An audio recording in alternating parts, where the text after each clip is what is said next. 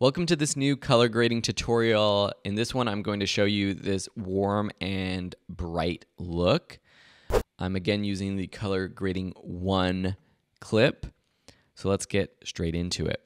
So I'm just going to, for the sake of time, copy and paste the color grading clip with my basic adjustments. I did the same adjustments that I did in the previous orange and teal look, just fixing up the shadows, giving it a little bit more contrast, making it a little bit brighter. So this is like a basic clean color correction. And again, I hate to be a broken record, but because the quality of the footage isn't the full resolution, this is coming from Pexels.com. You do start to see a little bit of noise and uh, just broken artifacts when we're pushing these color grades. If you're filming and editing your own stuff that's raw, you won't be able to see this. So basically, what is this look? It's just a typical warm, bright sunny sort of look. Now, this is sort of a golden hour look, but the original footage is shot quite cool, a lot of cool colors.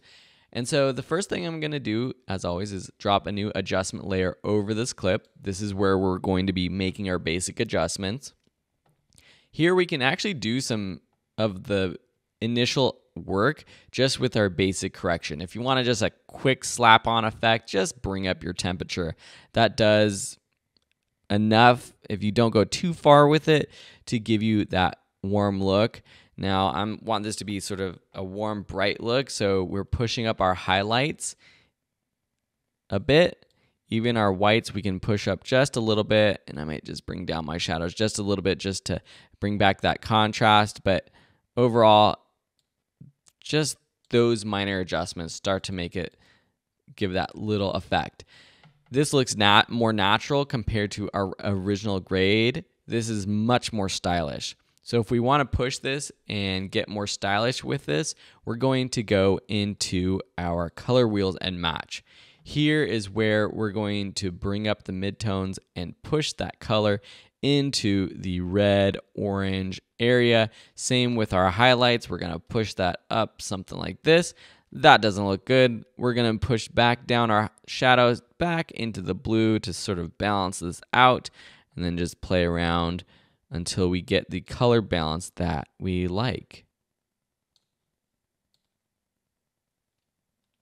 Now I'm not going for the orange and teal look, so I don't want to go too far with the shadows. But something like that looks pretty good for what I'm going for. Again, this one is pretty basic. You could do a lot just in the basic color correction tab, but you could also see what the color wheels and match adjustment is doing as well. Just pushes it just a little bit better instead of just an overall slapping on warmth to every single aspect of your footage, pushing up the colors in the specific ranges, shadows, midtones, highlights. That's what gives us a better more professional look. All right, that's the warm and bright look. Pretty easy. Hope this helps, and we'll see you in another tutorial.